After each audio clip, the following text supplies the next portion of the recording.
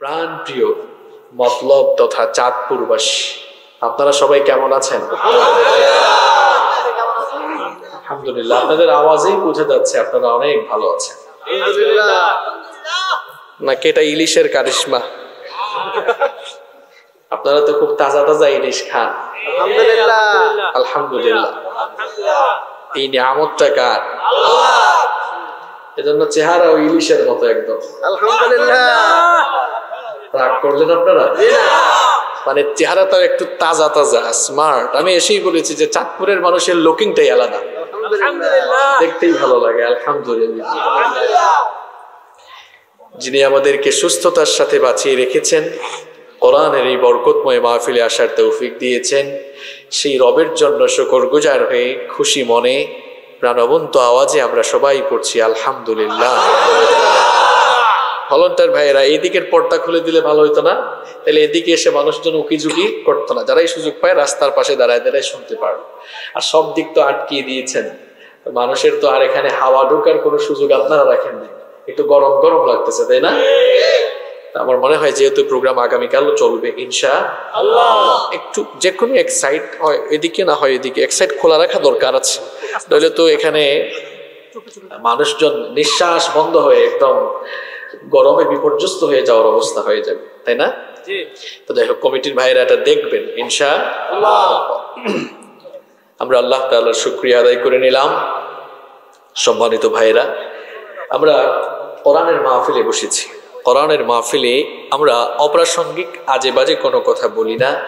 কোরআনের মাহফিলে আমরা একটি কিতাব থেকে আলোচনা করি এবং শুনি। আর সেই কিতাবের নাম হচ্ছে আল কোরআন এরকম রেসপন্স পেলে তো আলোচনা করে পড়তে বেশি মজা লাগবে ইনশা আপনাদের ঠোঁটগুলো খুব নড়ে। খুব সুন্দর আওয়াজ করেন আপনারা মাসা আল্লাহ তাহলে এই কিতাবের নাম কি? আল কোরআন এটি নাজিল হয়েছে যার উপরে তিনি হচ্ছেন মোহাম্মদুর রসুল্লাহ সাল্লাল্লাহু আলাইহি ওয়াসাল্লাম। আমার হাতে আপনারা যে কোরআন দেখতে পাচ্ছেন, এটি হচ্ছে কোরআনুল করিমের হার্ড কপি নাকি সফট কপি আপনারা সফট কপি আর হার্ড কপি বুঝেন তো?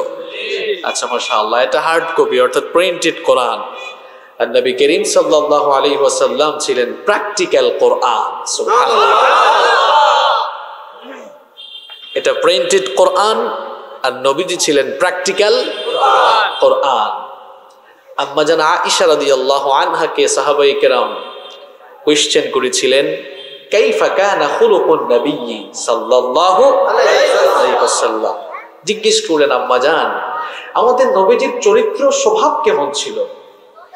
আম্মা জান আয়েশা রাদিয়াল্লাহু আনহা বললেন, তোমরা কি কোরআন পড়ো না? কানা খুলুকুহুল কোরআন, এই কোরআনই তার চরিত্র, সুবহানাল্লাহ। অর্থাৎ এর ফার্স্ট টু লাস্ট যা আছে কোরআনের এই ফার্স্ট টু লাস্ট যা লেখা আছে আমার নবীর জীবনেও তা আছে। কোরআন শুরু হয়েছে বা দিয়ে, শেষ হয়েছে সিন দিয়ে। ঠিক না? কোরআন শুরু হয়েছে বিসমিল্লাহ দিয়ে। দেখবেন সুরাতুল ফাতিহার উপরে বিসমিল্লাহ লেখা আছে। প্রথম অক্ষর কি? আর কোরআনের শেষ, সূরার শেষ আয়াতটা হচ্ছে কুল আউযু সরি মিনাল জিন্নাতি শেষ অক্ষরটা কি? বা আসেন মানে বাস। এনাফ মানুষের জীবনে যা দরকার তার জন্য কোরআন বাস কোরআন এনাফ কোরআন যথেষ্ট। আল্লাহ আকবার। আর এই কোরআনের প্র্যাকটিক্যাল রূপ হচ্ছেন মোহাম্মদুর রসুল্লাহ সাল্লাল্লাহু আলাইহি ওয়াসাল্লাম। এই নবীর এই নবীকে ভালোবাসা, মহব্বত করা, তার অনুসরণ এবং অনুকরণ করা ছাড়া পৃথিবীর কোনো মানুষ নাজাতের সম্ভাবনা রাখে পৃথিবীর যে কোনো দেশের যে কোনো প্রান্তের যে কোনো এলাকার লোকই হোক না কেন, একজনকে ফলো না করলে, একজনকে ভালো না বাসলে, একজনকে জীবনে মেনে না চললে দুনিয়া আখরাত নষ্ট হবে তিনি হচ্ছেন মোহাম্মদ সাল্লাল্লাহু আলাইহি ওয়াসাল্লাম নবীজির অনুসরণ অনুকরণ ছাড়া কোনো মানুষ নাজাত পাবে না এই জন্য রব্বুল আলামিন কোরআনুল কারীমে খুব সুন্দর করে বললেন কুল আতিউল্লাহ ওয়ার রাসূল فإن تولوا فإن الله لا يحب আল্লাহ বললেন আমার নবী, আপনি বলে দিন, তোমরা আল্লাহ আর আমার আনুগত্য করো। আল্লাহ আর আমার আনুগত্যের ভেতরেই তোমাদের জন্য সফলতা রয়েছে। আর যদি আমার আনুগত্য থেকে মুখ ফিরিয়ে নাও, তাহলে অস্বীকারী কাফেরদেরকে আল্লাহ তালা পছন্দ করেন পছন্দ করেন না। এই জন্য যদি না যা চাও মুক্তি যদি চাও, দুনিয়া আর আখেরাতে যদি সফলতা চাও, তাহলে আমার অনুসরণ অনুকরণ করো। আমার অনুসরণ আর অনুকরণ করলে কি হবে শোনো? রব্বুল আলামিন নিজেই সেটা জানিয়ে দিয়েছেন। কোরআনুল কারীমের 3 নম্বর সূরা, সূরাত আল ইমরানের 31 নম্বর আল্লাহ তাআলা বললেন, কুল ইন কুনতুম তুহিব্বুনাল্লাহ ফাত্তাবিউনি يحببكم الله ويغفر لكم ذنوبكم والله غفور رحيم আল্লাহ তাআলা বললেন হে নবী আপনি বলে দিন তোমরা যদি আল্লাহকে ভালোবাসতে চাও ফাত্তাবিউনি তাহলে আমাকে ফলো করো আমাকে অনুসরণ অনুকরণ করো আমাকে যদি অনুসরণ করো অনুকরণ করো আমার আনুগত্য যদি করো আর আমাকে যদি মেনে চলো আল্লাহ তাআলাকে ভালোবাসা লাগবে না ইউহিব্বুকুমুল্লাহ আল্লাহ তাআলা নিজেই তোমাদেরকে ভালোবাসবে। আল্লাহ যখন তোমাদেরকে ভালোবাসবেন তখন কি করবেন? শোনো শোনো। আল্লাহ যখন তোমাদেরকে ভালোবাসবেন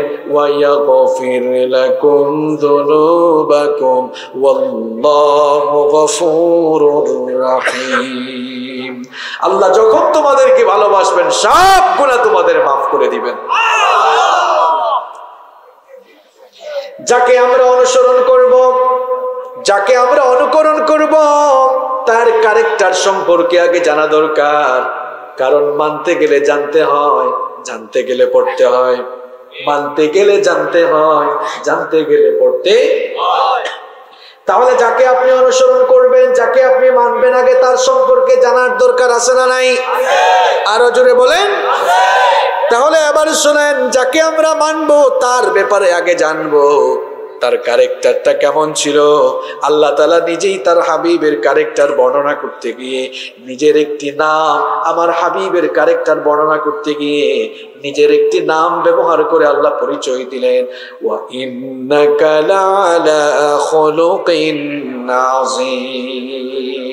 আল্লাহ তাআলা বললেন, নবী, আপনি আজিম এক সুবহান পুত পবিত্র আদর্শের উপরে সুপ্রতিষ্ঠিত। আল্লাহ আকবার।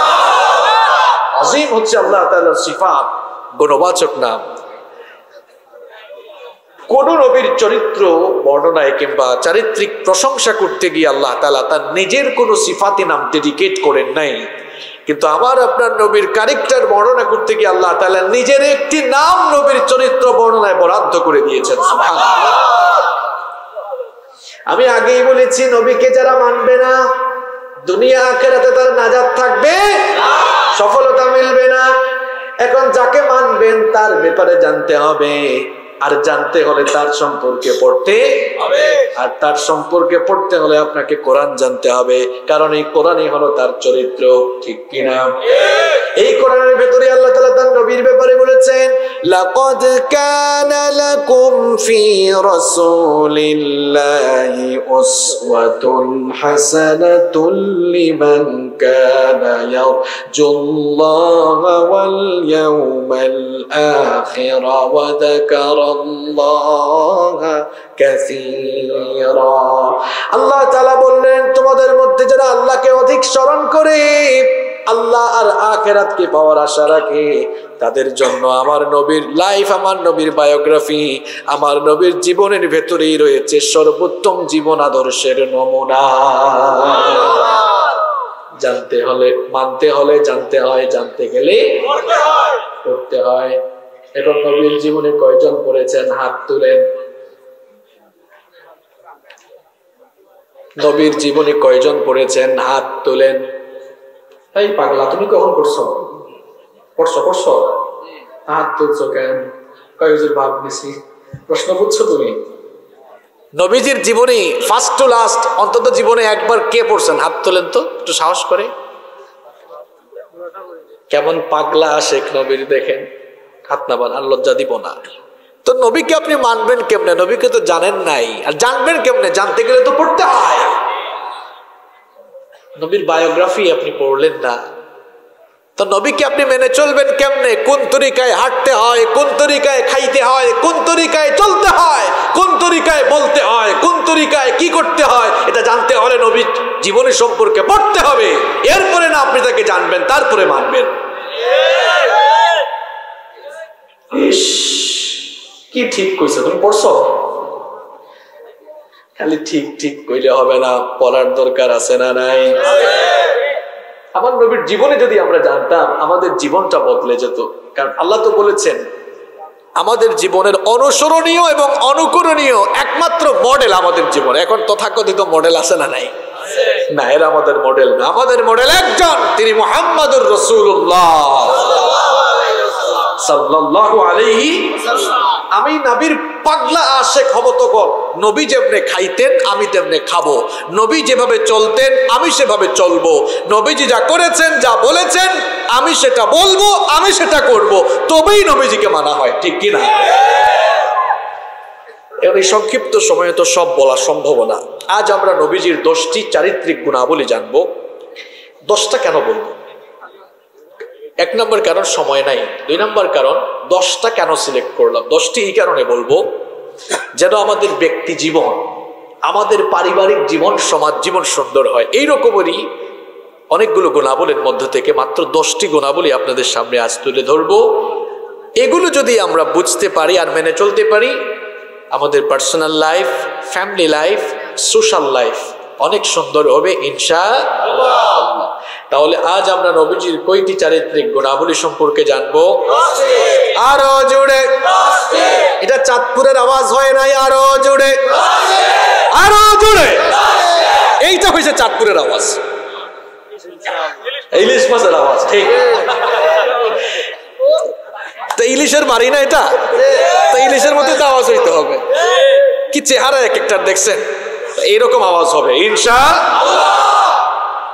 দশটি চারিত্রিক গুণাবলী জানব। ধৈর্য আছে তো আপনাদের? কেউ কিন্তু মোনাজাতের আগে আমরা উঠবো। কারা কারা উঠবেন হাত তোলেন। মানুষ সামনে আসতে বলেন। আরে আমার অনেক ভাইরা দেখেন জায়গা পাচ্ছেন একটু একটু সামনে আগে আসেন। আপনার আর একটু বড় যে চারজনের নাম লিখছেন এই চারজনের নাম লিখলে তো এই প্যান্ডেল হওয়ার কথা না। আর একটু বড় হইলে ভালো হতো না? এখন আপনার সুফহান আল্লাহ এটা আল্লাহর নিয়ামত। আমাদের ভাইদের কথা মানুষ শুনে এটা ব্যক্তির আকর্ষণ নয় এটা আল্লাহর কোরআনের আকর্ষণ। কারণ আমাদের এই ভাইরা এদের নিজেদের মধ্যে কিছুই নাই আমাদের মধ্যে কিছু নাই। আমাদেরকে দিয়ে আল্লাহ বলাচ্ছেন। আর আল্লাহ বলছেন আমি আমার কিছু বান্দাদের মাধ্যমে আমার দিন প্রচার করাবো সুবহান আল্লাহ একটু এগিয়ে আসেন আমার এই ভাইদের এই যে ডান দিক খালি আছে ঢুকে পড়েন আপনারা আসেন আসেন। চাঁদপুরের বাইরা। কি মায়া করে ডাকতেছি আপনাদেরকে? আসেন না আসেন ভিতরে আসেন আসেন। এই যে সামনেও আছে না? আসেন যারা জায়গা পাচ্ছেন না এই যে সামনেও আছে এইদিকে সাইড দিয়ে চলে আসেন। আচ্ছা তাহলে আমরা আলোচনার মধ্যে আর কথা না বলি। কয়টি চরিত্র নবীজির কয়টি চারিত্রিক গুণাবলী নিয়ে আমরা কথা বলব? আরও জোরে। এক নাম্বার। এই দশটা কিন্তু মুখস্থ করতে হবে ঠিক আছে? তুমি কি ইলিশ মাছ একটু বেশি খাইছো নাকি? যে জোরে লাভ দিলা। তাহলে এক নাম্বার হায়া সরব লজ্জাশীলতা। এক নাম্বার কি? এ ভাই এদিকে তাকান মুখস্থ করা লাগবে তো আপনাদের। এক নাম্বার হায়া। এক নাম্বার কি? এক নাম্বার কি? আবার বলেন আরেকবার। হায়া সরম আপনি বলবেন হুজুর আজকে আলোচনা হায়া সরম দিয়ে শুরু করছেন কেন? কারণ আজকে মুসলমানদের মধ্যে বেহায়া কম না বেশি? আপনি যেই নবীর উম্মত সেই নবীর ভেতরে কেমন হায়া ছিল শুনেন। হায়া তো হচ্ছে লজ্জাশীলতারই একটি অংশ আল হায়া মিনাল ঈমান। হায়া তো হচ্ছে ঈমানেরই একটি অংশ। আমি আপনি যার উম্মত আমি আপনি যার ফলোয়ার তিনি কেমন লজ্জাশীল ছিলেন শুনেন। প্রত্যেক নবীকে আল্লাহ তাআলা লজ্জাশীল বানিয়েছেন। আর আমাদের নবীকে সবচাইতে বেশি সর্বাপেক্ষা লজ্জাশীল বানিয়েছেন যিনি তিনি কে? ছোট কাল থেকে আমার নবী অত্যন্ত লজ্জাশীল ছিলেন। নবীজি যেই ঘরে লালিত পালিত হয়েছেন যার দুধ পান করেছেন নবীজির দুধ মা হালিমাতু সাদিয়া বলছেন। শিশু নবীজি শিশু নবীজি, শিশু মোহাম্মদুর রাসূলুল্লাহ পরান সাল্লাল্লাহু আলাইহি ওয়াসাল্লাম। তিনি কখনো ক্ষুধার যন্ত্রণায় কাঁদতে দেখি নাই। আমি তাকে কখনো ক্ষুধার যন্ত্রণায় কাঁদতে দেখি নাই। স্বাভাবিক অবস্থায় ছোট্ট শিশুরা তাদের যখন ক্ষুধা পায়, তারা তখন কান্না করে। কিন্তু শিশু নবীজিকে আমি কোনোদিন ক্ষুধার যন্ত্রণায় কান্না করতে দেখি নাই। বরং আমি তাকে দেখেছি, যখনই তার সতর থেকে হালকা কাপড় সরে যেত, সঙ্গে সঙ্গেই তিনি কান্না শুরু করতেন। আমি গিয়ে যখনই সতর মুবারক ঢেকে দিতাম, সাথে সাথেই তিনি কান্না বন্ধ করে দিতেন। ছোটবেলা থেকে আমার আপনার নবী অত্যন্ত লজ্জাশীল। লজ্জাশীলতার সাথে তিনি বেড়ে উঠেছেন। নবুয়ত পাওয়ার আগে মক্কায় যখন কাবাঘর রিকনস্ট্রাকশন হচ্ছিল কাবাঘরের পুনর্নির্মাণের কাজ হচ্ছিল, অনেকেই এই পুনর্নির্মাণের কাজে অংশগ্রহণ করেছিল। জাবের রাজি আল্লাহ আনহু বলছেন, নবীজির আপন চাচা আব্বাস রাজি আল্লাহ আনহুর সাথে নবীজি পাথর ভাঙছিলেন। নবীজি নিতে এরপরে নবীজি নিজেই পাথর তার কাঁধে বহন করছিলেন। নবীজির চাচা আব্বাস তিনি এসে নবীজিকে বললেন, আমার ভাতিজা, আমি তো তোমাকে অনেক মহব্বত করি। তুমি যে তোমার কাঁধের মধ্যে পাথর বহন করছ? তোমার গায়ে তো ধুলুবালি লেগে যাচ্ছে, আর কাঁধের মধ্যে দাগও পড়ে যাচ্ছে। সুতরাং তুমি তোমার তহবান, অর্থাৎ লুঙ্গিটা খুলে কাঁধের মধ্যে রাখো। এরপরে লুঙ্গির উপরে পাথর লাগলে ধুলাবালিও লাগবে না, গায়ে দাগও পড়বে নবীজি তখন বললেন, ওগো আমার চাচা, এটা কি করে সম্ভব? আমি আমার তহবন্দ খুলতে পারব না। আমি আমার তহবন্দ খুললে আমার লজ্জা প্রকাশ পেয়ে যাবে। তার চাচা তখন বললেন, বাবারে, আগে যান বাঁচাও, লজ্জার কথা তুমি বাদ দাও, আগে নিজের যান বাঁচাও। এই কথা বলে যখনই তার চাচা তহবন্দ ধরে টান দিতে যাবেন, নবীজি সঙ্গে সঙ্গে বেহুশ হয়ে গেলেন। এরপরে যখন তার হুশ ফিরে আসলো, তিনি বললেন, আমার তহবন্দ আমার তহবন্দ কোথায়? যখন দেখলেন, সেটা ঠিক আছে। এরপরে নবীজি স্থির হয়ে গেলেন। এই ছিল আমার, আপনার নবীর লজ্জাশীলতা।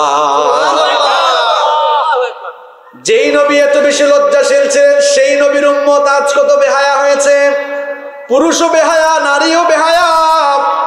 পুরুষ তার সতর্কে উঠাতে উঠাতে দেখা যাচ্ছে হাঁটুর উপরে উঠিয়ে ফেলেছে। অবশ্য চাঁদপুরে এরকম ছেলে পেলে নাই। দেখা যায় হাফ প্যান্ট পরে রাস্তায় রাস্তায় ঘুরে তোমার কি লজ্জা করে না? আমার আপনার নবী যে ছোটবেলা থেকেই লজ্জাশীল, আর আপনি হাফ প্যান্ট পরে ঘুরেন মিয়া এ কেমন বেহায়া জীবনযাপন আপনার? আবার অনেক যুবকরা কেউ কেউ তো হাঁটুর উপরে উঠিয়েছে আর কেউ কেউ জুতার তলে নামাইয়া দিয়েছে আছে না নাই? দেখা যায় প্যান্ট পরে লঙ্গি পরে টাকনোর নিচে তো দূরের কথা একেবারে জুতার তলে ঢুকাইয়া দেয় আছে না নাই? ভালো করে শোনেন আমার বাবারা আমার ভাইয়েরা ওই ব্যক্তির সঙ্গে কামতের দিন আল্লাহ তালা কথা বলবেন না। হাদিসটা ভালো করে শুনেন, নবীজি বলেছেন, ওই ব্যক্তির সঙ্গে আল্লাহ তালা কথা বলবেন না। কথা বলা দূরের কথা, ওই লোকটার দিকে আল্লাহ তাকাবেনও না। কতটা অসন্তুষ্ট হলে আল্লাহ তাকায় না, চিন্তা করেন।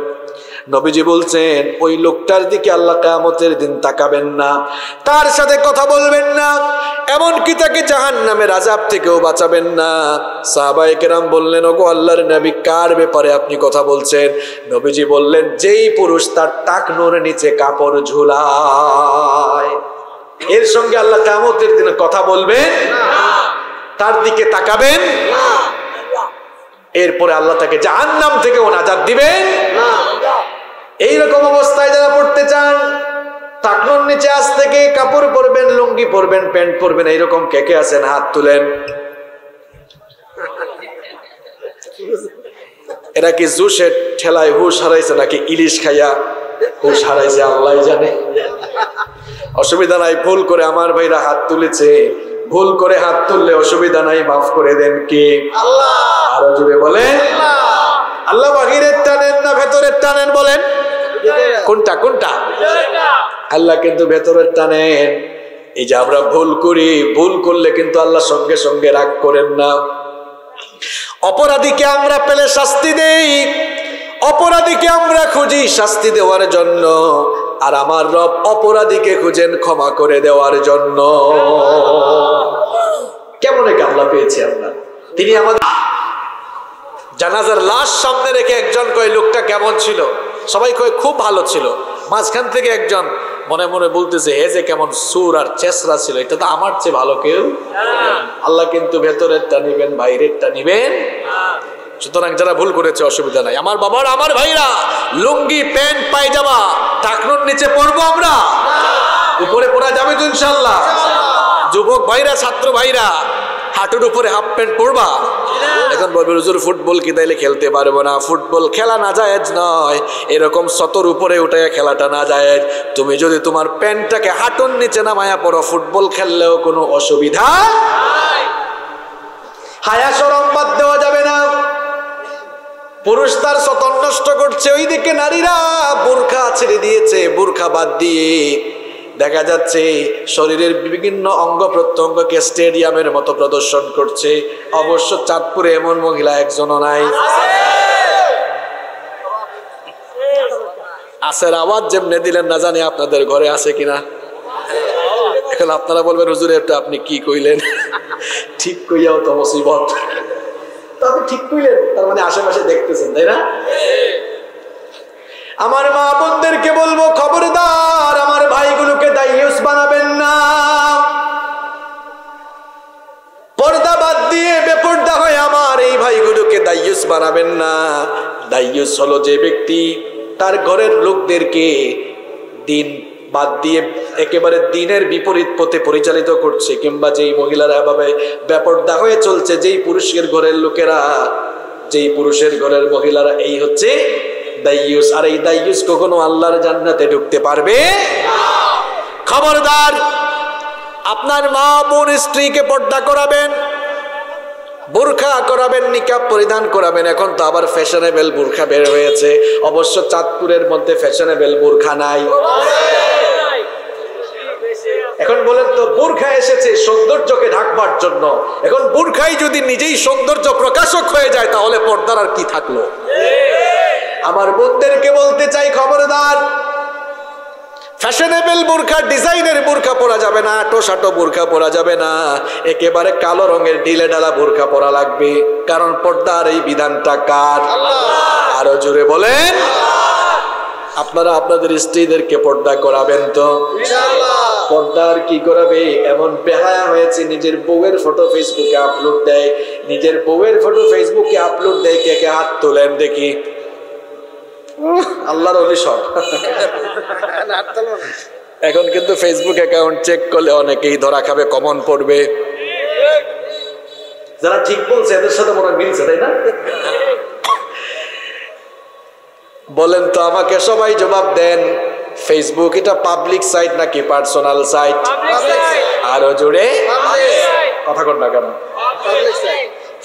ফেসবুকটা কি পাবলিক না পার্সোনাল সাইট বউ কি পাবলিক না পার্সোনাল তো পার্সোনাল জিনিসকে পাবলিক সাইটে ছেড়ে দিয়েছেন।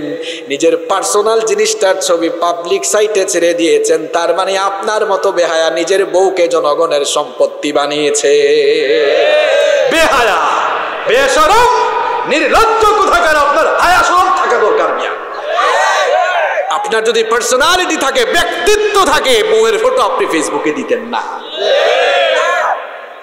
এখন হয়তো আমরা আমাদের ভুল বুঝতে পেরেছি। ভুল যদি আমরা বুঝতে পারি আর আমরা যদি আজকেই ডিলেট দিয়ে দেই তবা করি মাফ করে দিবেন কে? আরও জোরে বলে আল্লাহকে একটা ডাক দেন বলেন আল্লাহ! ওই আল্লাহর কাছে তবা করলে আল্লাহ মাফ করবেন কিনা? খবরদার নিজের বউয়ের ফটো বোনের ফটো এগুলো ফেসবুকে দিবেন না। ফেসবুক যা ইচ্ছা তা শেয়ার করার জায়গা না। অনেকে আছে যা ইচ্ছা তাই লিখে। যা ইচ্ছে তাই শেয়ার করে, যেখানে সেখানে লাইক মারে। একটু বুঝে শুনে লাইক দেন, বুঝে শুনে লিখেন। কারণ আপনার এই লাইক দেওয়া শেয়ার করা কমেন্ট করা, এগুলো আপনার ব্যক্তিত্বের পরিচয় গ্রহণ করে।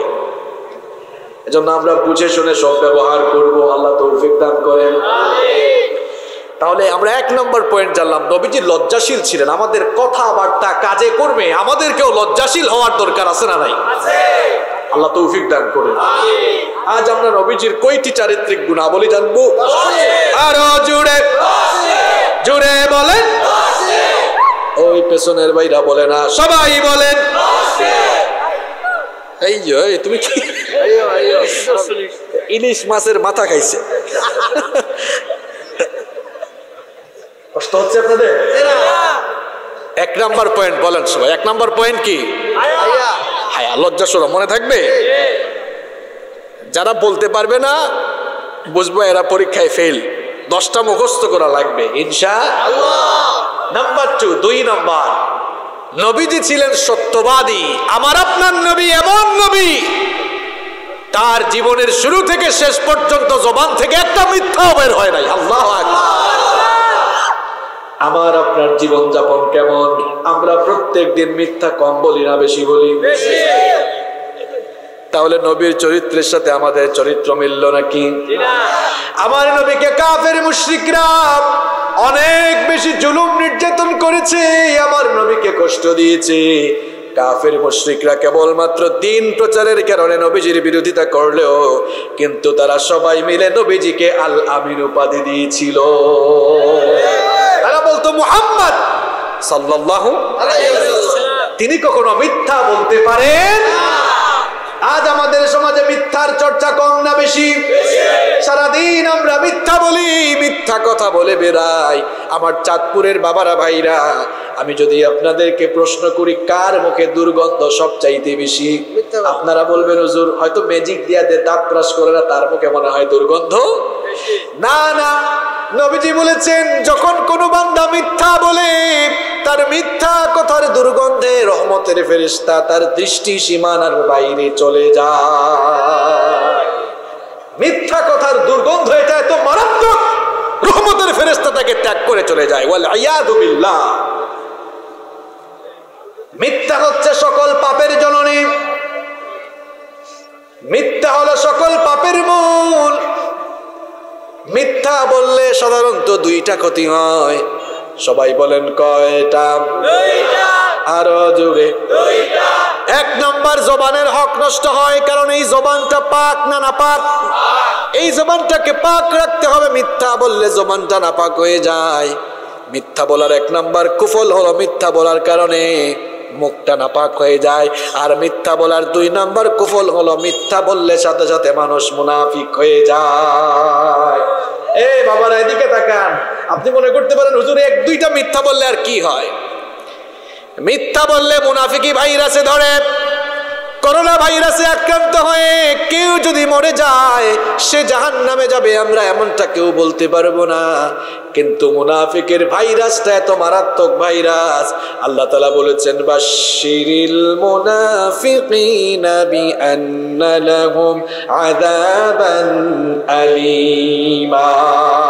নবী, মুনাফিকি ভাইরাস দিয়ে যারা চলে যাবে, তাদেরকে আপনি জাহান্নামের কঠিন আযাবের সুসংবাদ দেন। নবীজি বলেছেন মুনাফিকের কিছু আলামত আছে তার মধ্যে একটি আলামত হলো ইদা হাদ্দাতা কাদাবা যখন মুনাফিক কথা বলে কথায় কথায় মিথ্যা আমার বাবারা আমার ভাইরা বড় বড় কাফের যারা তারা জাহান নামে যাবে। যেমন বড় বড় কাফেরদের নাম আমরা জানি Firaun Namrud. Shaddad Haman Qarun, Abu Jahl, Utba Shaiba এরা জাহান নামে যাবে, কিন্তু বড় বড় কাফেরগুলো জাহান নামের উপরের তলায় যাবে। আর মুনাফিকগুলো এত খারাপ কাফের চেয়েও এত নিকৃষ্ট। ইন্নাল মুনাফিকিনা ফিদ্দারকিল আসফালি মিনান্নার কাফেররা জাহান নামের উপরের তলায়, মুনাফিকরা জাহান নামের নিচের তলায়। তাহলে বলেন তো তুলনামূলক ভাবে কাফের চেয়ে মুনাফিক ভালো না খারাপ? আরও জুড়ে বলেন। আরও জুড়ে কাফের ভালো না মুনাফেক ভালো? কাফের। কাফের আবার মুনাফিকের চেয়ে কাফের ভালো কাফের চেয়ে মুনাফিক খারাপ। এখন প্রশ্ন হলো হুজুর মুনাফিক কোথায় থাকে? কেউ যদি বলে হুজুর হিন্দু দেখব ভারতে যান খ্রিস্টান দেখবে আমেরিকা ইংল্যান্ডে যান বৌদ্ধ দেখব মিয়ানমারে যান মুসলমান দেখবেন Bangladesh Indonesia Saudi Arab Pakistan বহু মুসলমান দেশ আছে যান কেউ যদি কয় হুজুর মুনাফিক দেখব কোন দেশে যাব? না উত্তর কিন্তু হয় নাই। উত্তর হলো যেই দেশে মুসলমান বাস করে গিয়ে দেখেন ওই দেশে আব্দুল করিম আব্দুল সাত্তার আব্দুর রহমান নাম নিয়ে মাথায় টুপি। এরপরে মুখে দাঁড়িয়ে লম্বা লম্বা জুব্বা পরে সুযোগ পাইলেই এরা মুনাফিকের মতো ইসলাম জবাই করে। এরা ইমানদার না মুনাফিক? মুনাফিক! গুলোকে কিন্তু দেখলে চেনা যায় না, কারণ বেশভূষা ঠিকঠাক। মাথায় টুপি, লম্বা দাড়ি, আবার মাঝে মাঝে দেখা যায় আজান পড়লেন আমাদের সামনের কাতারে থাকে। মাহফিলের স্টেজেও আসে, দেখা যায় হুজুরদের আশেপাশে বসে। আবার দেখা যায় এই মুনাফিকি স্বভাবের লোকগুলো স্টেজ থেকে নেমে কোরআন বিরোধীদের সাথে একত্রিত হয়ে মাহফিল বন্ধের ষড়যন্ত্র করে। তলে তলে এত বেইমানি করে যুগে যুগে ইসলামের বারোটা বাজিয়েছে এই মুনাফিকেরা। এদেরকে চেনা যায় না। এরা মাহফিলের স্টেজে এসে ইমানদারদেরকে বলে, আমরা আপনাদের সাথে আছি, মাহফিলের সঙ্গে আছি, মুসলমানদের সঙ্গে আছি। মাহফিলের স্টেজ থেকে নেমে যাওয়ার পর তাগুতের সঙ্গে হাত মিলিয়ে আল্লাহর দিন, আল্লাহর দিনপন্থী দায়ীদের উপরে জুলুম নির্যাতনের ষড়যন্ত্র করে। যেই দিকে বৃষ্টি ওই দিকে তার ছাতা এটা ইমানদার না মুনাফিক? এই মুনাফিকগুলো কাফের চেয়েও খারাপ। কাফেরগুলো জাহান নামের উপরে আর মুনাফিকগুলো জাহান নামের এই মুনাফিকের কয়েকটি স্বভাব রয়েছে, তার মধ্যে এক নম্বর স্বভাব ইজা হাত্তা থাকা দাবাব যখন সে কথা বলবে, মিথ্যা বলবে, আমার নবীর উম্মত যে হবে, সে কখনো মিথ্যা বলতে পারে এমনকি ওয়াজ মাহফিলের কমিটিও হুজুরের সাথে মিথ্যা কয়, হুজুর মেইন রোড থেকে পাঁচ কিলো গিয়ে দেখি ছাব্বিশ কিলো। আপনাদের কমিটি না, আপনাদের ভাইরা কিন্তু ঠিকঠাক আমি আপনাদের কথা বলছি না। অনেক জায়গায় এরকম আছে না নাই? শুধু কমিটি না, অনেক হুজুরও মিথ্যা কথা কয়। আসে সে, চান্দি নাই? এই তো মাহফিলের কাছেই চলে আসছি, আছে না নাই? এই ওয়াজ মাহফিল ফায়দা হবে কেমনে? কমিটিও মিথ্যা কয়, হুজুরও মিথ্যা।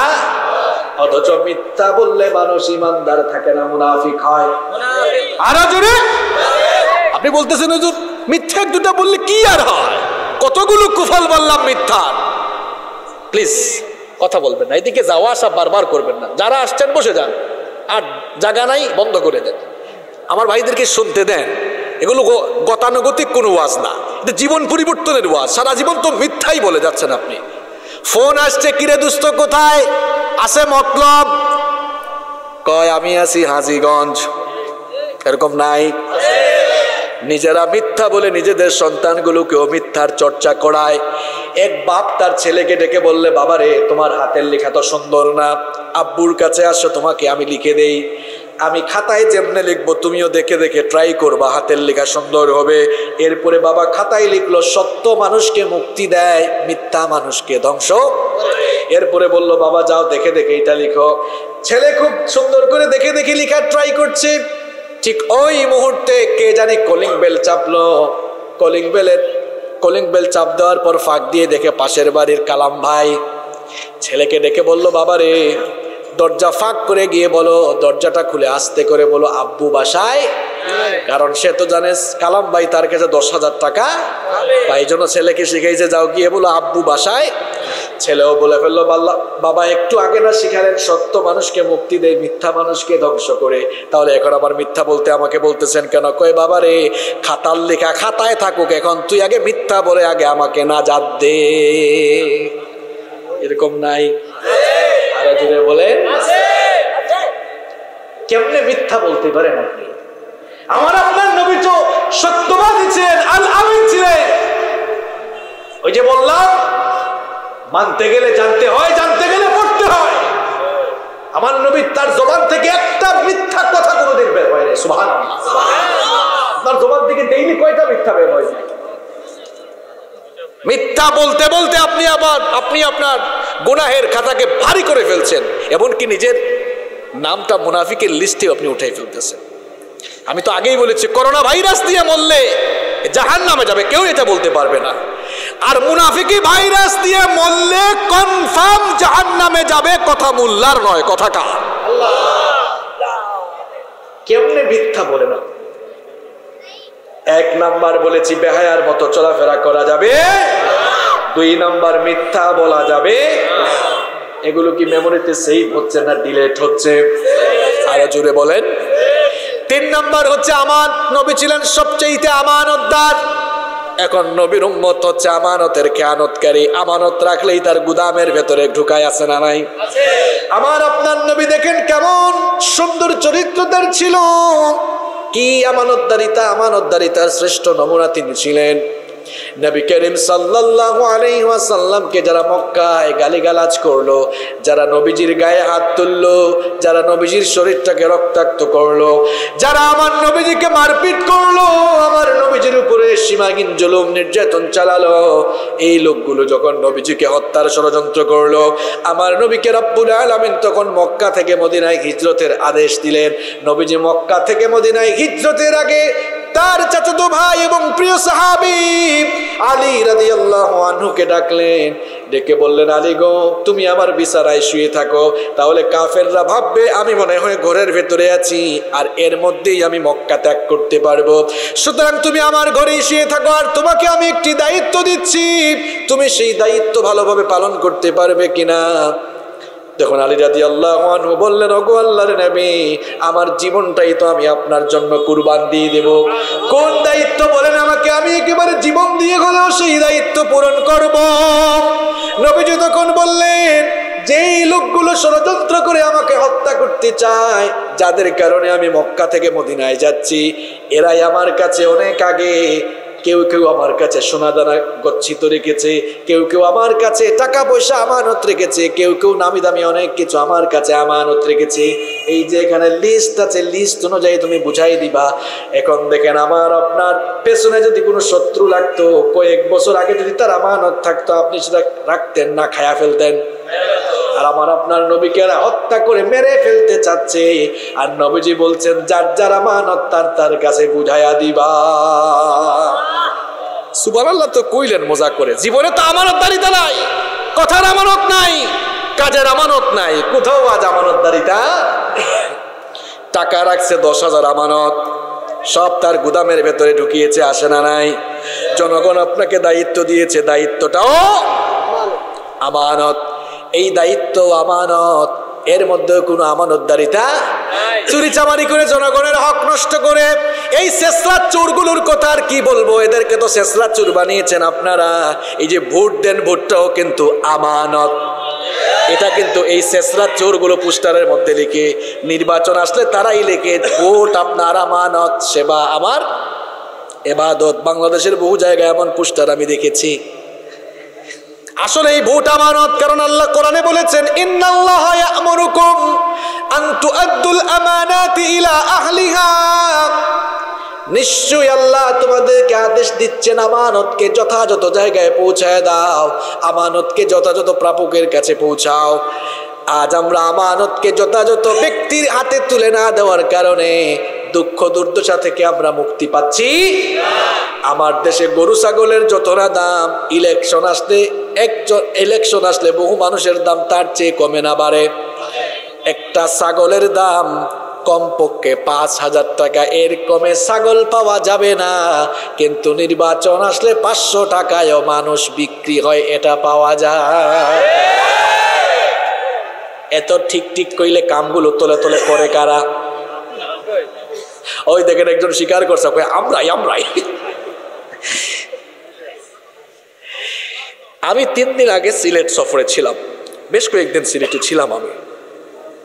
তো এক পরিচিত আমার লোক, আত্মীয়, এসে বলতেছেন, বাবারে, গিয়েছিলাম আমার এক আত্মীয়র বাড়ি বেড়াতে। শুনতেছেন আপনারা? এই যে চার পাঁচ দিন আগের ঘটনা আপনাদেরকে শোনাচ্ছি। আঠাইশ তারিখ বাংলাদেশের বিভিন্ন জায়গায় নির্বাচন। হয়েছে। কয় বাবারে আমার এক আত্মীয়র বাড়ি বেড়াতে গিয়েছিলাম সাতাইশ তারিখ রাতে। কয় তারিখ? মেহমান বাড়িতে গেলে আমাদের কাঁধে কি কান্দে কি ব্যাগ থাকে না। এখন গিয়ে দেখি ওই এলাকার মানুষগুলো সব ইলেকশনের রাতে রাস্তায় বের হয়ে আছে ঈদ ঈদ ভাব। তো আমি তো আমার আত্মীয়র বাড়ি যাচ্ছি হেঁটে হেঁটে যাচ্ছি রিক্সা থেকে নেমে। পাবলিক বলতেছে লোকেরা মালের প্যাকেট নিয়ে লোকেরা মালের ব্যাগ নিয়ে হাঁটে কিন্তু আমাদের দেখে না। বুঝেন নাই কথা? উনি বলতেছে, আমি হেঁটে যাচ্ছি, আমার কান্দে ব্যাগ একটা আছে ঝুলানো কয়, মালের ব্যাগ নিয়ে লোকেরা হাতে আমাদেরকে দেখে ওই টাকাকে মাল বলতেছে আর কি। আরবিতে তো আলমাল, তাই না? মাল। তো আরবিতে টাকা, কিন্তু এটাকে মালও বলা যাবে, এটাও তো একটা মাল। আমি কিছু আর বুঝলাম না, খালি হাঁটতেছি আর এটা শুনতেছে। পরে একজনকে বললাম, ভাই, আপনারা কাদেরকে বলেন? কাদেরকে মানে আপনি কোন প্রার্থী? দেখেন না। হুম? বেগ নিয়ে চলে যাচ্ছেন, আমাদেরকে চোখে লাগে না?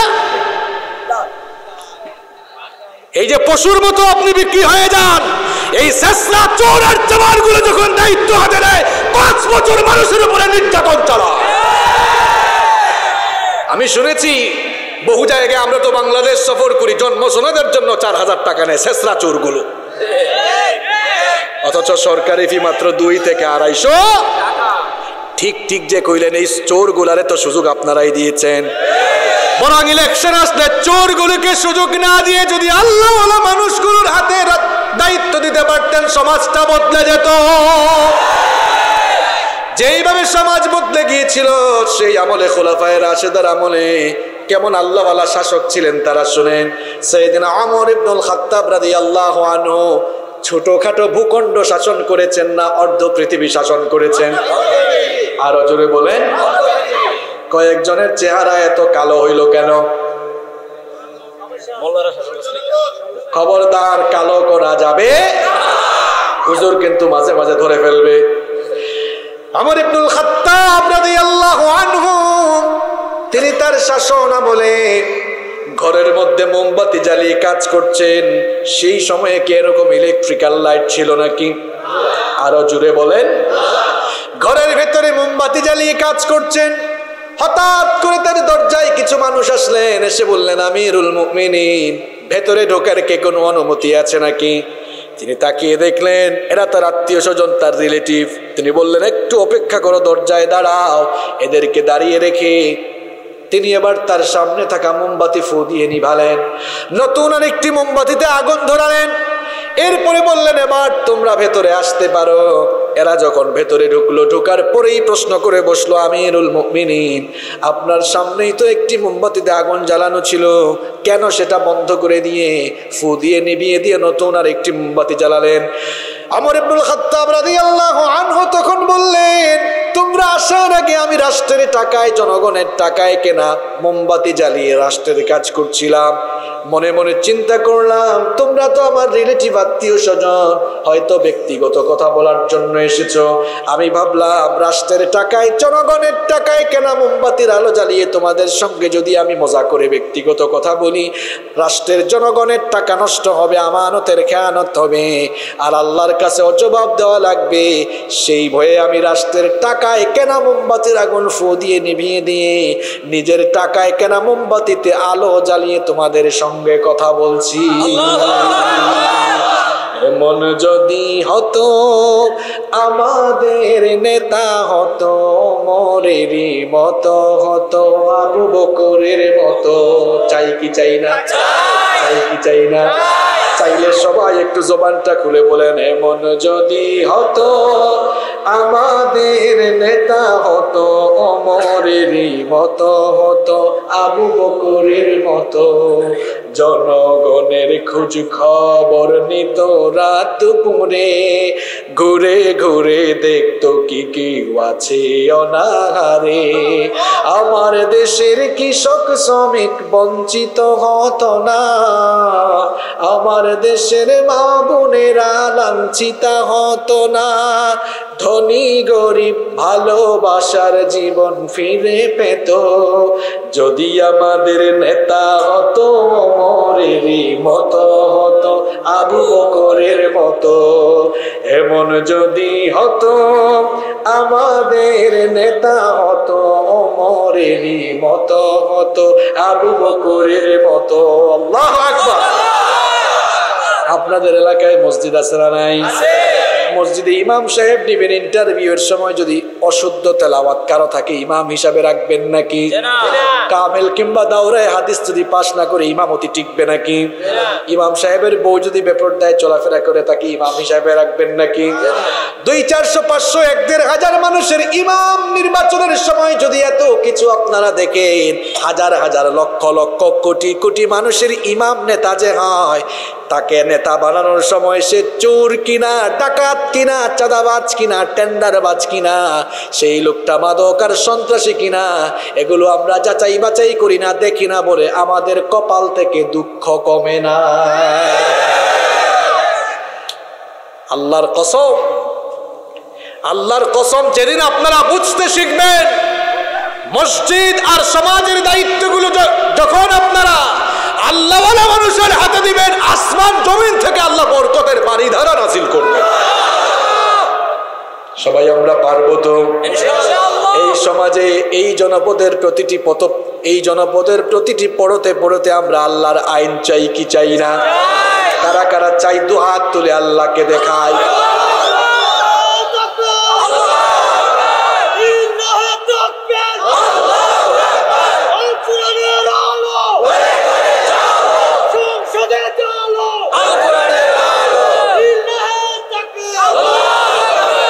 যে স্লোগান দিছে, ঘরেও জ্বালবে সংশোধন।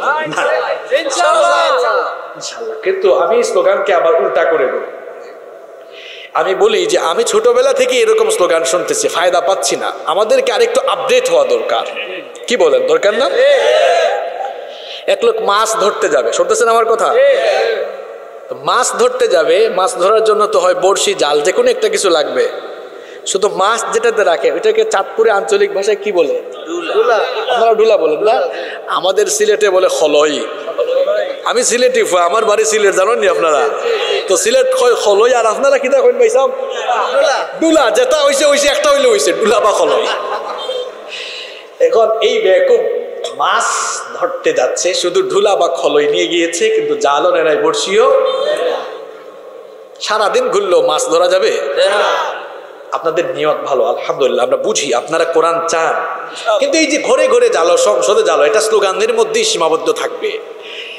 ওই যে ওই লোকটা খলই নিয়ে যেমন বা ঢোলা নিয়ে যেমন গিয়েছে, কিন্তু মাছ পায় নাই, এই স্লোগান দিয়ে এই লাভটাই হবে হবে না। এখন বললে হজরত তাইলে আপনি কি বলতে চান? আমি বলতে চাই, স্লোগান চেঞ্জ করে আল কোরআনের আলো মানুষের অন্তরে অন্তরে জালো অন্তরে জ্বাললে আর ঘরে জ্বালানো লাগবে না। এটা ঘরে জ্বলবে। আর ঘরে যখন জ্বলবে সমাজের চতুর্দিকে কোরআন পাগলরা কোরআনের বারুদ চালাবার জন্য পাগল হয়ে যাবে। দেশের প্রতিটি পড়তে পড়তে ইসলামের পতাকা উড্ডীয়ন হয়ে যাবে। অঙ্কের সূত্র বুঝছেন? আপনি সূত্র মতে অঙ্ক না করলে অঙ্ক কিন্তু মিলবে মিলবে আমার ভাইটা এত সুন্দর স্লোগান দিয়েছে। রাগ করছ? সূত্র মতে আগাইতে হবে। তাইলে ফলাফল মিলবে ইনশা তাহলে আমরা যারা এখানে আছি আমরা সবাইটা কোরআন শিখব। ইনশাল্লাহ কয় না? কোরআনটা বুঝব। এরপরে হৃদয়ে যখন কোরআনের আলো জ্বলবে ঘরে জ্বলবে সমাজে জ্বলবে এই জমিনের প্রতিটি ইঞ্চিতে ইঞ্চিতে কোরআনের পতাকা উড়বে। বলেন ইনশাল্লাহ তাহলে তিন নম্বর কি বললাম? আমানতদারিতা। এই আমানতদারিতা আছে আমাদের মধ্যে? ওঠার সময় শেষ। আমি কিন্তু প্রত্যেক দিন আলোচনায় প্রথম বিশ ত্রিশ মিনিট এমন ভাবে কথা বলি পাবলিক উঠলেও আমি কিছু বলি না। এরপরে যে উঠে আমি আর কিছু বলা লাগে না পাবলিকই তাকায় এমনি। কই হুজুরের কথা কি তার উপর লাগল নাকি? এই জন্য বলছি উঠা উঠি তাই? শেষ এখন আপনি খবরদার। এখন উঠলেই কিন্তু বিপদ। আমি কিচ্ছু বলব না পাবলিক তাকাবে। বলবে হুজুরের কথা মনে হয় তার সাথে মিলছে। উঠা উঠির সময় তখন উঠলেন না কেন, এবার ঠেকছে। আজকে আমরা নবীজির কয়টা গুণাবলী বলব? আরও জোরে জোরে বলেন। বলছি কয়টা? বাকি কয়টা? কষ্ট হচ্ছে কষ্ট হচ্ছে। চার নাম্বার, উঠা উঠের কিন্তু সময় শেষ রে ভাই। চার নাম্বার হলো আমার নবী ছিলেন সব চাইতে ন্যায়বান, ইনসাফকারী বিচারক। আমার নবীর বিচারের নমুনা কেমন ছিল শোনেন আমরা অনেক সময় বাড়িতে বাড়িতে মানুষের বিচার করি আছে না নাই? আপনাদের এলাকায় সালিশ বিচার আছে না নাই? সালিশ বিচার করি আইন অঙ্গনেও আমরা বিচার করি যে কোনো ধরনের বিচার হতে পারে। আমার নবী কেমন বিচারক ছিলেন শোনেন? কেমন বিচারক তিনি ছিলেন এবার শোনেন। মাকজুমা গোত্রের কোরাইশি মহিলা ঘটনা কিন্তু চলে যাচ্ছে ঘটনা একটা বলব শুনবেন তো? মাকজুমা গোত্রের একজন সম্ভ্রান্ত মহিলা চুরি করে ধরা পড়লেন। নবীজির আদালতে বিচার হবে। সাহাবায়ে কেরামে একত্রিত হয়ে পরামর্শ করছেন, যেই মহিলা চোর হিসাবে ধরা হয়েছে, ওই মহিলা বড় নামি দামি বংশের মহিলা। এখন যদি ওই মহিলার ব্যাপারে চুরির যে বিধান ইসলামে আছে, সেটা যদি বাস্তবায়ন করা হয়, ওই বংশের কোনো মানিজ্য থাকবে? সাহাবাহাম বললেন ওই কারও সাহস হচ্ছে না। সবচেয়ে সবাই মিলে ধরলেন উসামা ইবনু যায়েদ রাদিয়াল্লাহু আনহুকে। তারা গিয়ে বললেন ওগো আমাদের ভাই উসামা নবীজি তোমাকে সবচাইতে বেশি মহব্বত করেন। তুমি একটু নবীজির কাছে গিয়ে বলো এই মহিলার ব্যাপারে বিচার করার সময় নবীজি যেন শাস্তি একটু কমায় দেন। উসামা বিন সাইদ রাদিয়াল্লাহু আনহু যখন নবীজির কাছে এই প্রস্তাব নিয়ে গেলেন নবীজির সঙ্গে সঙ্গে মিম্বরে আরোহণ করে সাহাবীদের উদ্দেশ্যে বক্তব্য দেওয়া শুরু করলেন। নবীজি বললেন আমার সাহাবীরা, শোনো, আল্লাহর বিধান বাস্তবায়নের জন্য তোমরা আমার কাছে সুপারিশ নিয়ে এসেছ। তোমাদেরকে ভালো করে বলছি, শুনে নাও, এই সম্ভ্রান্ত বংশের মহিলা চুরি করে ধরা না পড়ে আজ যদি আমার নিজের কলিজা টুকরা মেয়ে ফাতেমা চুরি করে ধরা পড়তো, বিচারক হিসাবে আমি মোহাম্মদ রায় দেওয়ার বেলায় ন্যূনতম কোনটা বোধ করতাম না, বরং আমি নিজেই আমার নিজের মেয়ের হাতটা কেটে ফেলতাম। আর আমরা যখন বিচার করি তখন স্বজন প্রীতি নাই। ধরা পড়লে কয় হয়েছে আমার এক ভাই বলেই ফেলছে উপরের অর্ডার এই মিয়া কানে ধরছ? এটা আমার লোক। তাড়াতাড়ি ছাড়ো! নবীর উম্মত আজ বিচারের নামে অবিচার করছে। বিচারের বাণী নীরবে নিবৃতে কেঁদে মরছে, বিচারের নামে অবিচার করা হচ্ছে। এই জন্য আল্লাহর দিনের দায়ীদের উপরে এখন নিপীড়ন চালানো হচ্ছে। যদি আল্লাহর কোরআনের বিচার থাকতো, বিচারের নামে অবিচার হতো যদি আমরা আল্লাহর আইন দিয়ে এই কোরআন দিয়ে বিচার করতাম তাহলে সমাজে এত ফেতনা থাকতো? এই কোরআনের বিচার আমরা চাই কি চাই না? বলেন সৌদি আরবে এই কোরআনের পুরোটা আইন আছে নাকি? আছে কেবল। কিছু আছে। কিছু আছে। আছে। তা বলেন কিছু? কিন্তু যতটা আছে তাতেই বলেন সেখানে শান্তি কম না বেশি। কিছু আইন থাকলে যদি এত শান্তি হয় পুরোটা থাকলে শান্তি আরও বাড়বে না কমবে। বলেন গোটা বিশ্বে যত চুরি চামারি হয় সৌদি আরবে চুরি কম না বেশি। ধর্ষণ সেখানে কম না বেশি। আমার দেশে চুরি কম। ডাকাতি কম। কি আর চুরি কম? শেষরা চুরগুলো এমন চুরি করে আমরা তো খাটের নিচে জুতা রাখি তারা খাটের নিচে জনগণের তেল রাখে। কি জাতের চোর? আর যা চুরি করার সুযোগ পায় তাই চুরি করে। একেবারে হাঙ্গর মাছের মতো। হাঙ্গর চিনেন নি আপনারা? চিনলে বলেন তো হাঙ্গরের স্বভাব কি? এই তো যা পায় তাই। একবারে খাঙ্গরের পেট অপারেশন করে দেখা গেল মানুষের মাথার খুলি গরুর মাথারও। কারণ এটা যা পায় তাই? টেবিল আছে ফুটবলও আছে। কারণ যেটাই পায় ওইটা আমার দেশে এই চিটার আর চোরগুলোর পেট অপারেশন করলে দেখবেন সিমেন্টের বস্তা রোডের বস্তাও পাওয়া যাবে। চাইতে আর মারাত্মক চুরি তো বাড়ছে ডাকাতি বাড়ছে কারণ আল্লাহর বিধান দিয়ে চুরির বিচার করা হয়। আমি চ্যালেঞ্জ করছি। আমি চ্যালেঞ্জ করছি। এই দেশে একটা চুরির বিচার আল্লাহর কোরআন দিয়ে করে দেখেন। একটা বিচার দেখেই যতগুলো শেষরা চোর রয়েছে তারের মতো সোজা হয়ে যাবে। একটা ধর্ষণের বিচার কোরআন দিয়ে করে দেখেন, এই দেশে যতগুলো লুচ্চা বদমাস রয়েছে, এক বিচার দেখে সারা জীবনের জন্য সোজা হয়ে যাবে। দেখা যায় ধর্ষণ হয়েছে দুই হাজার তিন, একুশ সালে রায় হয়। ভুল বলছে নাকি? গত সপ্তাহে দেখলাম কোন এক মডেল নামও ভুলে গেছি। কি কি নাম? না না না দু হাজার তিন সালে এক মডেল মারা গেল। আমি টেলিভিশন ইন্ডিপেন্ডেন্ট টেলিভিশন দেখছিলাম। তিনটে না?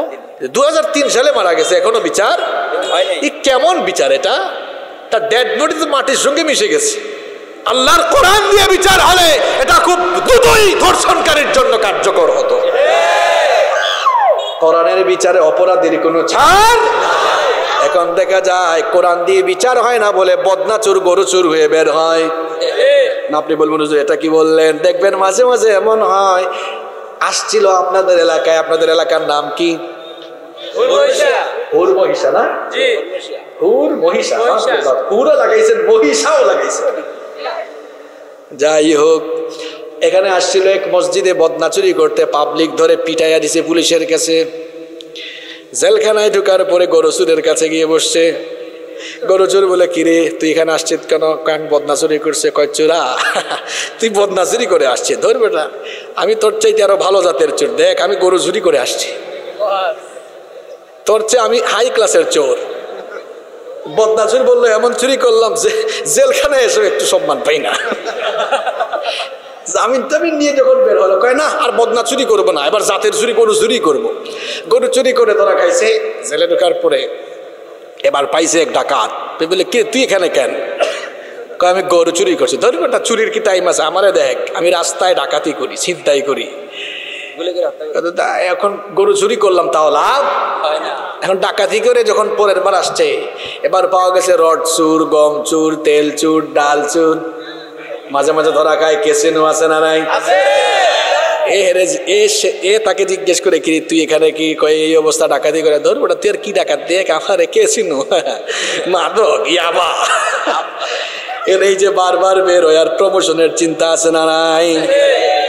আমি অনেক চোরকে দেখেছি চুরি করে জেলে গিয়ে জামিন পেয়েছে ডাকাত জেলে গিয়ে জামিন পেয়েছে। আমি অনেক নষ্টা ভ্রষ্টাকে দেখ- দেখেছি জেলখানায় ঢুকার পরে বীরের মতো বের হয়েছে। না না, আমি বললাম? না আপনারা জানেন? তো এটা দিয়ে যুব সমাজকে কি মেসেজ দেওয়া হচ্ছে? তরুণ তরুণী যুবক যুবতীদেরকে এই মেসেজ দেওয়া হচ্ছে। এগুলো করে ধরা খাইলেও কোনো অসুবিধা? তাহলে সমাজ থেকে অপরাধ কমবে না, বাড়বে। বলেন। সুতরাং আল্লাহর বিধান ছাড়া সমাজ থেকে অপরাধ কমানো যাবে। এই জন্য নবীজির বিচারের মতো বিচার দরকার আছে না নাই? এই জন্য নবীজির চারিত্রিক গুণাবলী বর্ণনা করতে গিয়ে চার নাম্বার বললাম, আমার নবী ছিলেন সর্বশ্রেষ্ঠ বিচারক। আর তিনি বিচার করতেন কোন আইন দিয়ে? আরও জোরে। কোন একদিন দেশের আকাশে কোরআনের পতাকা উড়বে। সেদিন সবাই খুদাই বিধান পে দুঃখ বেদনা ভুলবে। ঠিক কিনা?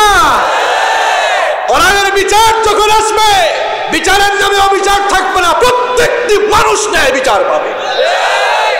আল্লাহ যেন সেই অবস্থা কায়েম করে দেন। কষ্ট হচ্ছে। কয়টা বললাম? চারটা। নাম্বার ফাইভ পাঁচ নম্বর হলো, আমার নবী ছিলেন অত্যন্ত বিনয়ী মানুষ। তিনি কষ্ট দুঃখ পেয়েছেন, কিন্তু কাউকে কখনো দুঃখ কষ্ট দেন কি চরিত্র ছিল? আপনি আমি যে কষ্ট দেয় তারে কষ্ট দেই। আর নবী কষ্ট পেয়েছেন কিন্তু কাউকে কষ্ট দেন সবার সাথে সুন্দর ভাষায় কথা বলেছেন হাসি মুখে কথা বলেছেন। আমার আপনার অনেকের মুখে হাসিও আসে না সারাদিন। আসে না নাই? এই যে আমি গত দেড় মাসে মিনিমাম কম হইলেও পনেরো হাজার কিলো এর উপরে জার্নি করেছি। এই দেখেন আজকেও কত যা সারাদিন জার্নি করে আসছি কিন্তু চেহারায় হাসি আছে না নাই? এটা নবীর সন্না। আপনি মুচকি হেসে কথা বলেন উত্তম ভাবে মুচকি হেসে কথা বললেও সৎকা কিছু মানুষ আছে আপনি আছে না নাই? হাসি মুখে থাকবে।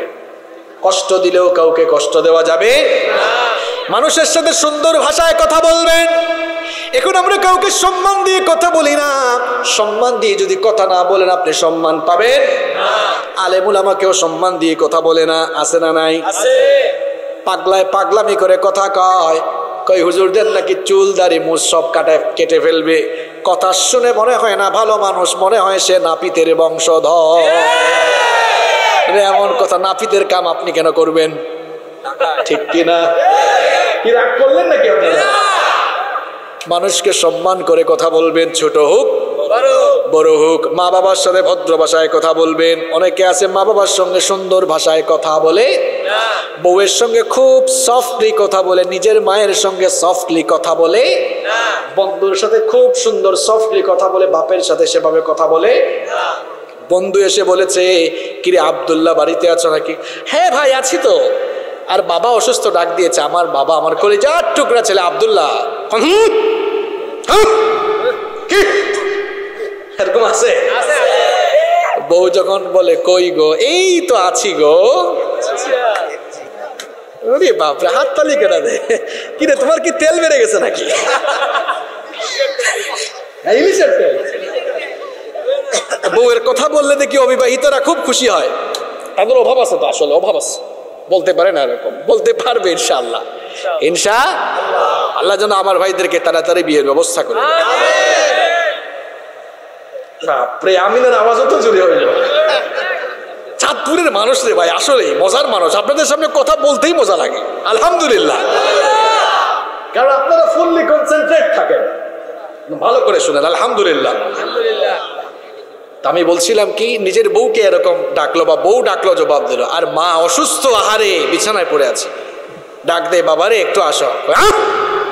কি হয়েছে? উঠতে পারো না? আছে আছে? ভাইরে হাসির কথা বলে নাই আপনি আপনার মায়ের সঙ্গে এমন কথা কেমনে বললেন? সেই ছোটবেলার দৃশ্য ভুলে গিয়েছেন। কোনো ভাষা আপনার মুখে ছিল না। আপনি কান্না করতেন আর আপনার মা কাজ করতো। কান্না শুনলেই সব কাজ বন্ধ করে এসে জড়ায়া ধরত। সেই মা অসুস্থ আপনি একটু তার ডাকটাও সহ্য করতে পারেন না। চিকিৎসাও করেন না। আপনার বাপ পুরো মানুষ বিছানায় ফেলে রেখেছেন। কি নিমুখ হারাম সন্তান আপনি। ছোটবেলায় একটু জ্বর হলে এই বাপ আপনাকে কুলে নিয়ে হাসপাতালে গিয়েছে। এ কেমন নিমুখ খারাপ সন্তান আপনি? আপনি টাকা পয়সা কি খরচ করবেন? এ যুবক, তরুণ ভাইয়া, শুনো, তোমার শরীরের চামড়া সিলাইয়া মা বাবার জন্য স্যান্ডেল বানাইলো হক করতে পারবা না তুমি। কি পয়সা খরচ করবা তুমি? তুমি পয়সা খরচ করে মা বাবার হক আদায় করবা? তোমার শরীরের চামড়া দিয়া জুতা বানাও, তাও হক আদায় করতে পারবা না। কি করে নাই এই মা বাবা এই বাপ তোমাকে কি করে নাই? ছোটবেলা তোমার মুখে তুলে খাওয়াই দিয়েছে। এই বাপ ঈদের সময় যখন আসে, ভাবে, আমি আর পাঞ্জাবিটা এই ঈদে না কিনে আমার ছেলেটার জন্য নেই। আর এই মাটা এমন, মাছের সবচেয়ে ভালো টুকরাটা আপনাকে খাওয়ায়, মাংসের সবচেয়ে ভালো টুকরাটা আপনাকে খাওয়ায়। আপনি যখন বাহিরে থাকেন যতক্ষণ বাহিরে থাকবেন, এই মায়ের ফোন সবচেয়ে বেশি আপনার ফোনে বাজে। এই হচ্ছে মা, এই হচ্ছে বাবা। আর আপনি কি নেমু খারাপ সন্তান হয়েছেন, সেই মা বাপ একটু অসুস্থ হলে আপনি বিরক্ত হয়ে যান। কই, আপনি তো ছোটবেলায় অনেক কান্না করেছেন। অনেকের মা বাপ অসুস্থ হলে বিছানায় প্রস্তাব পায়খানা করে। এ যুবক, তরুণ ভাইয়েরা, মা বাপ পেশাব পায়খানা করলে নিজের হাত দিয়া মা বাবার ওই পেশাব পায়খানা করা কাপড় ধুয়ে দিবা। তাও হক আদায় করতে পারবা না তুমি। পারবা না তুমি, পারবা না। তুমি ছোটবেলায় তোমার বাপ মায়ের কুলে কত প্রস্তাব করেছ তুমি ভুলে গেছো। তোমার মায়ের কুলে প্রস্তাব করে পুরো কাপড় ভিজিয়েছো তুমি। কোনোদিন রাগ করে নাই, করেছে? রাতের বেলা মা সন্তানকে নিয়ে ঘুমিয়েছে। সন্তানকে ডান পাশে রেখে মা ঘুমিয়েছে। কিছুক্ষণ পর সন্তান প্রস্রাব করে ডান পাশটা ভিজিয়েছে। আপনার মা রাগ করে নাই, চিন্তা করেছে আমার সন্তানের এই ভেজা জায়গায় ঘুমাতে কষ্ট হবে। সঙ্গে সঙ্গে উঠে আপনার পোশাক চেঞ্জ করে এবার ডান পাশ থেকে বাম পাশে শুইয়েছে। কিছুক্ষণ পরে যখন বাম পাশটাও আপনি ভিজাই দিয়েছেন, মা চিন্তা করল, এই ভিজা জায়গায় আমার সন্তানটা ঘুমাতে পারবে? কাপড় চেঞ্জ করে এবার ডান পাশটাও ভিজা, বাম পাশটাও ভিজা। মা এবার নিজেই ডান বা বাম পাশ ভেজা একটা জায়গায় মা চলে যায় আর মায়ের সেই উষ্ণ জায়গায় আপনাকে ঘুম পাড়ায়। সেটাও ভিজা দেওয়ার পর ওই মাকে আপনি ভুলে গিয়েছেন, ছোটবেলার কথা আপনার মনে নাই। ওই মা যখন দেখল ওই উষ্ণ জায়গাটাও আপনি প্রস্তাব করে ভিজিয়ে দিয়েছেন, সব জায়গায় প্রস্তাব, সব জায়গা ভিজা, মা আর কি করবে আপনার আরামের জন্য? তার বুকের উপরে আপনাকে ঘুম পাড়িয়েছে। এটা আপনার মা, এটা আপনার মা। যারা মায়ের কষ্ট বুঝেন না, যারা বিয়ে করেছেন, বউ প্রেগনেন্সিতে থাকলে দেখবেন বউয়ের কেমন কষ্ট। ঠিক সেম আপনার মায়ের পেটে থাকাকালীন আপনার মায়ের কষ্ট হয়েছে। কই বউ তো প্রেগনেন্সিতে থাকলে বা আপনি বউয়ের যে খেদমত করেন মার কথা কি মনে পড়ে না? যে আমার মাটাও আমার জন্য এমনি কষ্ট করেছে। মা বাবার সাথে খবরদার। খবরদার, রাগ করে ঝিরকি দিয়ে চোখ মোটা করে ধমকের সরে কথা বলা যাবে না। মা বাবার সঙ্গে যেভাবে কথা বলতে হবে সেটা শিখিয়েছেন কে? আল্লাহ তালা বলছেন করিমা। ভদ্র ভাষায়, সম্মানের ভাষায়, মার্জিত ভাষায় তোমার মা বাবার সঙ্গে কথা বলো। আল্লাহ খবরদার যুবক আর তরুণরা মা বাবার সাথে ভদ্র ভাষায় কথা বলবা। বাবা ডেকেছে, মাথা নিচু করে সুন্দর করে জবাব দিবা। মা ডেকেছে, বাবা অসুস্থ মানুষ, রাতের বেলা বাবার রুমে যাও। মাথা টিপে বলো, বাবা, আপনি ঘুমান, আমি আপনার মাথাটা টিপে দিই, এই বাপ ছোটবেলায় কত আপনার মাথা টিপেছে, ভুলে গেছেন আপনি। আপনার মা বাবা অসুস্থ, প্রস্তাব পায়খানা যদি করে দেয়। সেই লুঙ্গিটা শাড়িটা আপনি ধুয়ে দিবেন। কারণ ছোটবেলায় আপনার এরকম অনেক পোশাক আপনার মা বাপ ধুয়ে দিয়েছে। ঠিক কি না? আপনার প্রস্রাবের গন্ধ আপনার নাকে লাগে, আপনার প্রস্রাব পায়খানার গন্ধ কি আপনার মান নাকে লাগে নাই? ভুলে গেছেন আপনি এগুলা না? খবরদার যুবক ভাইরা মা বাবার খেদমত করে। মা বাবা আপনার জন্য বড় পীর, বড় বলি, এরা আপনার বলি। এরা আপনার পীর। আপনি জান্নাত তালাশের জন্য বাইরে যাওয়ার দরকার নাই আপনার ঘরের ভেতরে মায়ের পায়ের তলায় আল্লাহ তাআলা আপনার জান্নাত রেখেছেন সোহান আল্লাহ মা বাবার খেদমত করতে পারবেন তো? এটা আমার নবী থেকে শিখবেন। আমার নবী তিনি ছয় বছর বয়সে মাকে হারিয়েছেন। কিন্তু তার দুধ মায়ের সঙ্গেও তিনি কেমন আচরণ করেছেন শোনেন। নবীজি একবার সাহাবিদেরকে সঙ্গে নিয়ে জিয়ারানা নামক স্থানে মাংস বন্টন করছেন। এমন সময় একজন বৃদ্ধা মহিলাকে আসতে দেখে নবীজি কাজ বন্ধ করে ওই মহিলাকে রিসিভ করার জন্য এগিয়ে গেলেন। সাহাবায়কেরাম লক্ষ্য করলেন নবীজি এগিয়ে যাওয়ার পরে ওই মহিলা বসার জন্য নবীজি এবার নিজের গায়ের চাদর মুবারক বিছিয়ে দিলেন। ওই মহিলা সেখানে বসার জন্য নবীজি গায়ের চাদর মোবারক বিছালেন। সাহাবাই সাহাবায়কেরাম এই দৃশ্য দেখলেন, অবাক হয়ে গেলেন। নবীজি ফেরার পরে সাহাবিরা প্রশ্ন করলেন গো আল্লাহর নবী, বুঝলাম না কে এমন এসেছেন যাকে রিসিভ করার জন্য নবীজি এগিয়ে গেলেন। কে এমন আসলেন? কে এমন গুরুত্বপূর্ণ ব্যক্তি যার জন্য নবীজি নিজের গায়ের চাদর মুবারক বিছিয়ে দিলেন? নবীজি বললেন, যিনি এসেছেন তাকে সাধারণ কেউ মনে করো না। আমি আমার মায়ের কোলে কাকে চড়ে বেড়ে ওঠার কিসমত বেশি দিন হয় নাই। আমার মায়ের দুধ পান করার নসিবও আমার বেশি দিন হয় নাই। যেই মহিলার কোলে কাকে চড়ে আর যেই মহিলার দুধ পান করে আমি বড় হয়েছি, ইনি হচ্ছেন আমার দুধ মা হানিমা তো সাদিয়া। কি আচরণ? আর আপনি কি করেন? এই যে ভাইয়েরা শীতের দিন এসেছে, যুবক ভাইরা শুনেন, বাজার থেকে যাওয়ার সময় কমলা এখন বাজারে পাওয়া যায়, কমলা কিনে নিয়ে যান। ডালিম বেদানা কিনে নিয়ে যান, আপেল কিনে নিয়ে যান। আপনার মা বুড়ি মানুষ অসুস্থ, বাবা বুড়া মানুষ অসুস্থ, ঘরে ঢুকে আগে সালাম দেন, স্বাস্থ্যের খোঁজ খবর নেন, নিজের হাতে ভাত খাওয়াইয়া দেন, এরপরে নিজের হাতেই একটা কমলা চুলিয়ে তারপরে খাওয়াই দেন। মা বাপ যদি একবার খুশি হয়ে গিয়ে একটা মুচকি হাসি দেয় রে ভাই, আল্লাহর আরও আপনার উপরে খুশি হয়ে যাবে। মা বাবার খেদমত করব তো আমরা। করবেন তো? করবেন তো? যাদের মা বাবা জিন্দা আছে রে ভাই এখনও আমত আছে। এখনও আমত আছে। খবরদার এই মা বাবার সঙ্গে বেয়াদবি করা যাবে না। মা বাবার সঙ্গে উত্তম আচরণ করতে হবে শিখিয়েছেন মোহাম্মদ ভাইরা কষ্ট হচ্ছে আপনাদের? শেষ করে দিব? দশ পনেরো মিনিট থাকা যাবে না? বাবা হিসাবও রাখতেছে। কয়টা গেছে? বাকি পাঁচটা এত সময় লাগবে না। আমরা দশ পনেরো মিনিটে শেষ করে দিব না ইনশা। ছয় নাম্বার আমার নবী ছিলেন একজন আদর্শবান স্বামী। আমি বলেছি আজকে এমন দশটা বলব আমাদের ব্যক্তি পরিবার সামাজিক জীবন যেন সুন্দর হয় ইনশা। আমার নবী ছিলেন একজন আদর্শবান স্বামী। দিয়ে যারা করছেন হাত তুলেন। এখানে তো বিয়াইত্যা কম। হাত নামান। অসুবিধা নাই, যারা বিয়ে করে ফেলছেন করে ফেলছেন, যারা করেন নাই, তাদের জন্য বেশি লাভ। কারণ বিয়ে করার পরে কি করা লাগবে? বিয়ের আগেই তা জানা লাগবে। বিয়ের পরে কি করা লাগবে? বিয়ের আগেই তা জানা আর জানব আমরা যার কাছ থেকে? তিনি হচ্ছেন মোহাম্মদুর রসুল্লাহ আমার বাবারা, আমার ভাইরা শুনেন আপনিও তো হাজবেন্ড কিংবা যারা বিয়ে করো নাই, আমার ভাইরা, তোমরাও তো বিয়ে করবা। দেখেন হাজবেন্ড হিসাবে আমার নবী কেমন ছিলেন? আমার নবী কি কখনো কোনো বিবিকে গালি দিয়েছেন নাকি? কিন্তু আমার দেশে কিছু মানুষ আছে, বউকে দাসীর মতো আচরণ করে আছে না নাই? কথাবার্তা সুন্দর করে বলে না। আর বউয়ের সাথে সম্পর্ক খারাপ হইলে কিন্তু ঘটনা খারাপ, চেহারা সুরত ভালো থাকবে।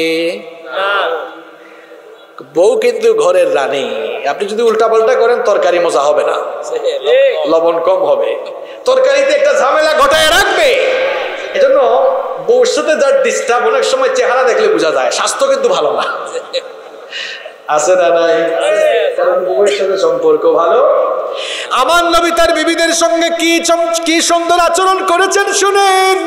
আম্মা যেন আনহা বলেছেন আমার নাম তো কিন্তু নবীজি মাঝে মাঝে আদর করে আমাকে হুমায়রা বলে ডাকতেন।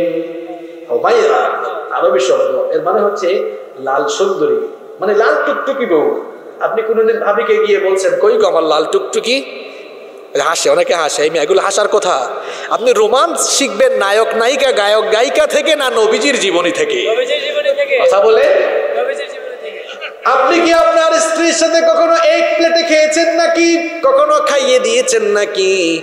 কিন্তু দেখেন আমার নবীর চরিত্র কেমন ছিল। আম্মা জানা ইশারা দিয়ে আল্লাহ আনহা বলেছেন আমি হাড্ডি কিংবা মাংস চিবাতাম।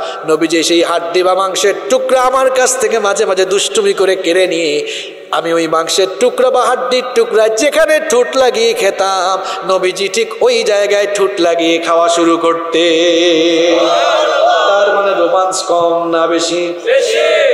আপনি তো ভাবির সাথে এক গ্লাসে কোনোদিন পানিও খান না।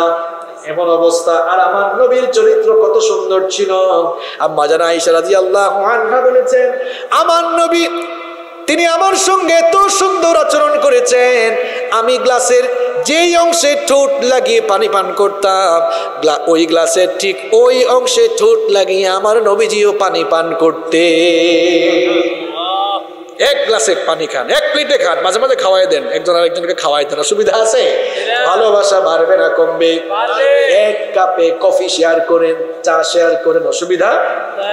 আরও জোরে বলেন। আপনি সারাদিন বাহিরে কাজ করলেন এরপরে ঘরের মধ্যে ফিরে দেখলেন বউ এখনও রান্না করে নাই মেজাজ নরম না গরম? মেজাজ নরম না গরম? তার মানে নরম হয় কেউ নাই কাদের নরম থাকে দেখি তো। একজনও নাই। এখন বলেন তো বউর এই একজন পাওয়া গেছে তার মানে বউকে খুব ভালোবাসে মাশা আল্লাহ আলহামদুলিল্লাহ আলহামদুলিল্লাহ। ওনার ভেতরেই নবীজির সুন্নতটা আছে। আম্মা জানা ইসরাদি আল্লাহ আনহা বলেছেন নবীজি সারাদিন কাজ করে বাড়ি ফিরেছেন দেখেছেন রান্না বান্না হয় নাই গরম হয়ে রাগ করে একটা কথাও আমাদেরকে বলেন নাই বকাও দেন নাই বলেছেন আয়সা গো পেরেশান হচ্ছ কেন? আমাকেও রান্না করে নিয়ে চলো তরকারি কেটে আমি তোমাকে সহযোগিতা করব। সুবহানাল্লাহ। তো কইলেন ভাবিকে কোনোদিন পেঁয়াজ কেটে দিছেন নাকি? একজন দিচ্ছেন পাওয়া গেছে মাসা আল্লাহ তার মানে নবীর সুন্নত আছে না নাই?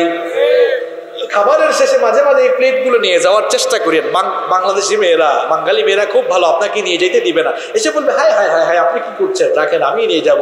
এই যে নেওয়ার জন্য ধরছেন আপনার প্রতি ভালোবাসা বাড়াবে না কমাবে তাহলে নিজের স্ত্রীর সাথে ভালো আচরণ আমরা করব তো?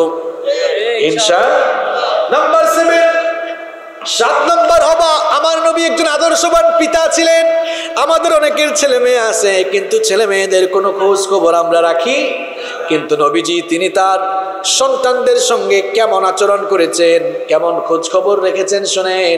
নবীজি যতই ব্যস্ত থাকেন না কেন, নবীজির মেয়ে ফাতেমা রাদিয়াল্লাহু আনহা নবীজির কাছে আসলে নবীজি দাঁড়িয়ে যেতেন, তাকে পাশে বসাতেন, তার কথা শুনতেন।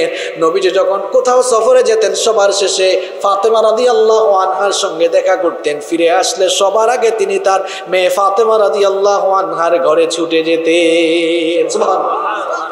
আপনারা তো মেয়ে হইলে অনেকে বেজার হন। মেয়ে হইলে আপনারা অনেকে বেজার হন। এই, বসো। জনে বসো, হয়ে যাবা। বসো। দশ মিনিট থাকা লাগ তোমার কি ইলিশের ক্ষুদা লাগছে নাকি? কই যাবা? শুধু গেছে নাকি? তাহলে নিজের সন্তানদের প্রতি একটু যত্নশীল হওয়া লাগবে। অনেকে আছে সন্তানদের খোঁজখবর নেয় না। ছেলে মেয়ে কোথায় যায় খোঁজখবর নাই। এরপরে যখন ছেলে মেয়ে নষ্ট হয়ে যায়, ওই যে অবস্থা এমন আমি প্রায় সময় বলি, চলাফেরা করে আমেরিকান স্টাইলে আর বিচার চাই সৌদি স্টাইলে। আপনার ছেলে মেয়ে কই যায়? আপনার খোঁজ রাখা দরকার। কার সঙ্গে মিশে, কোথায় যাচ্ছে খোঁজ খবর রাখবেন? নইলে ছেলে মেয়ে নষ্ট হয়ে যাবে। ছেলে মেয়েদের ব্যাপারে সচেতন থাকতে হবে। নাম্বার এই থার্ড নাম্বার আমার নবী, নানা হিসাবে একজন আদর্শবান নানা ছিলেন। অনেকে দাদা নানা হয়ে গেছে এটা জীবনের পূর্ণতা। আমার নবীর দুই কলিজার টুকরা নাতি নাম বলেন হাসান আর নবীজি ভালোবাসতেন কম না বেশি। নবীজি হাসান আর হোসাইনকে এত ভালোবাসতেন। দুই কাঁধে নিয়ে দুইজনকে বের হয়েছেন। এক কাঁধে হাসান আর এক কাঁধে হোসাইন। একবার হাসানকে চুমু দেন আর একবার হোসাইনকে চুমু দেন।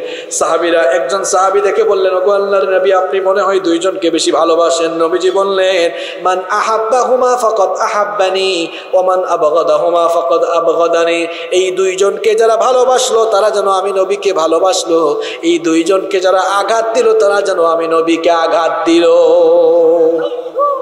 এখন নবী তার নাতিদের সঙ্গে কি আচরণ করেছেন দেখেন। নামাজে এসেছেন দুই রাতিকে নিয়ে এসেছেন। এখন বাচ্চা ছেলেরা দুষ্ট হয় কম না বেশি। নবীজি নামাজে নিয়ে এসেছেন খুতবা দিচ্ছেন জুমার দিনে। হাসান হুসাইন মুসল্লিদের সামনে দৌড়াদৌড়ি করে। নবীজিকে রাগ করেছেন নাকি?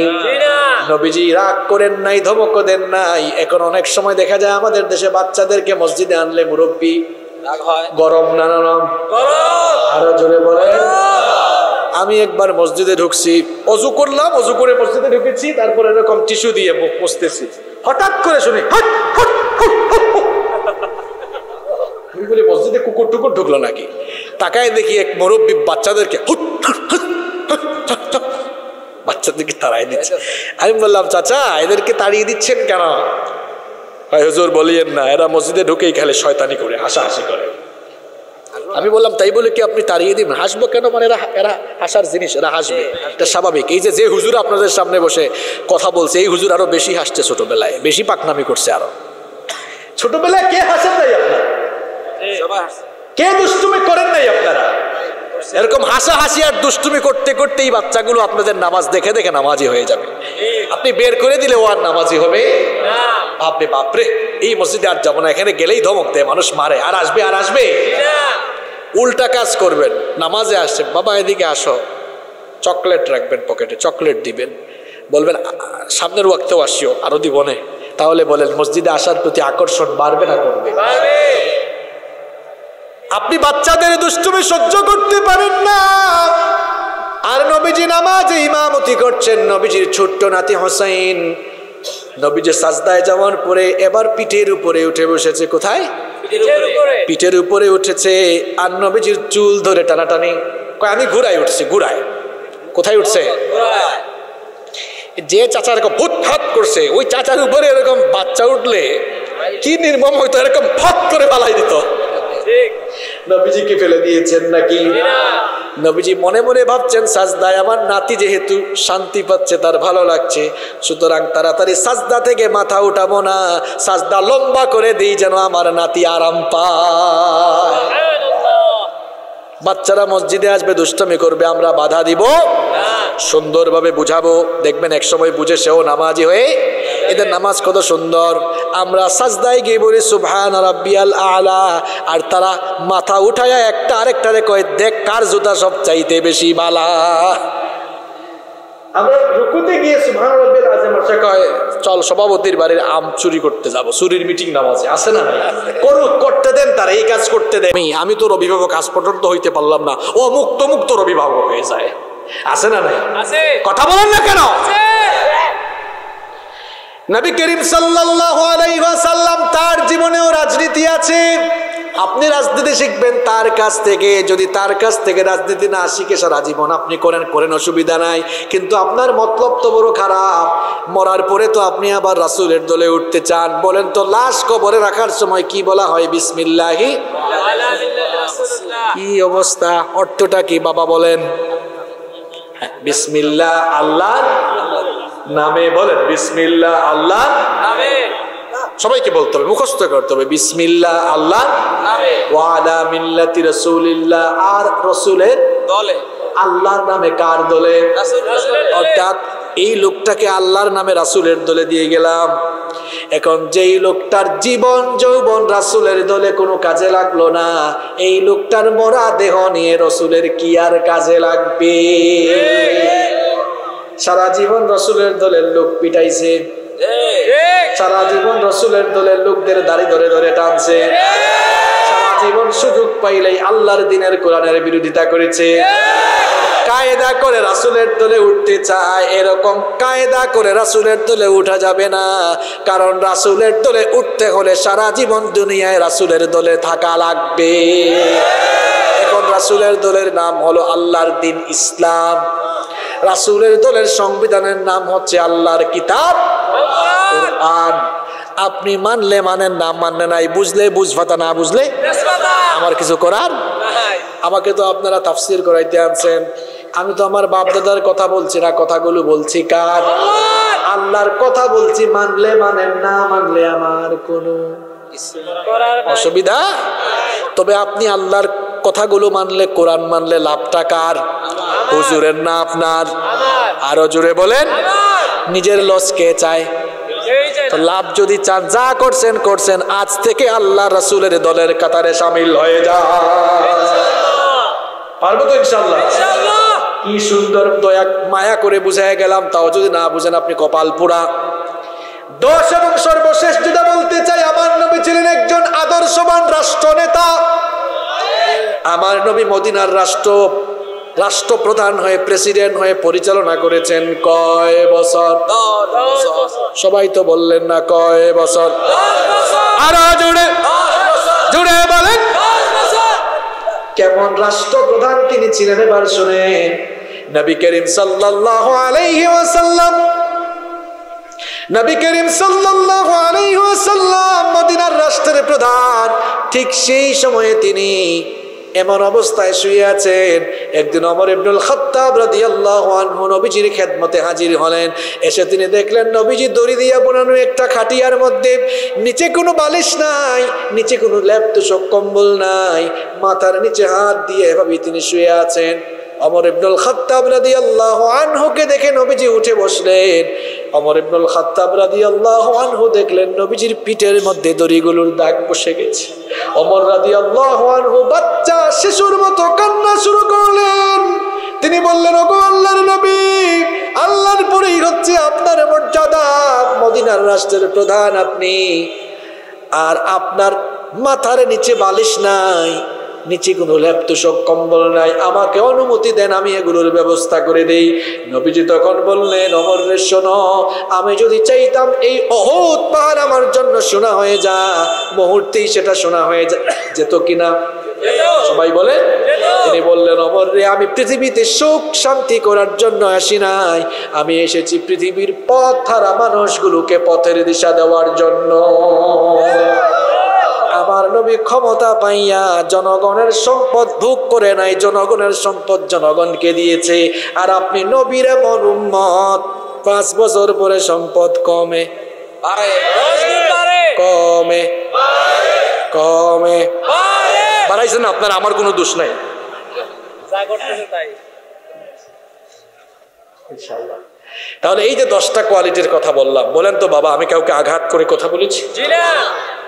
আল্লাহর কসম, আমিও হেদায়তের নিয়তে বলেছি, শুনেছি। আমরাও হেদায়তের নিয়তে যদি এগুলো শুনে মানতে পারি, লাভটা আমাদের হবে। লাভটা কার হবে? আমাদের হবে। আমাদের জীবন সুন্দর হবে ইনশা আল্লাহ আমি সবাইকে অনুরোধ করব, প্রত্যেক দিন আপনারা কোরআন তেলাওয়াত করবেন। অর্থ সহ করবেন। নবীজির জীবনী পড়বেন হাদিস পড়বেন। পারবেন তো ইনশাল্লাহ কারণ মানতে গেলে জানতে হয় জানতে গেলে আল্লাহ তৌফিক দান করুন। চাঁদপুরের মানুষ অনেক ভদ্র আমি জানি মোনাজাত না করে সবাই চলে যাবে। চলে যাবে?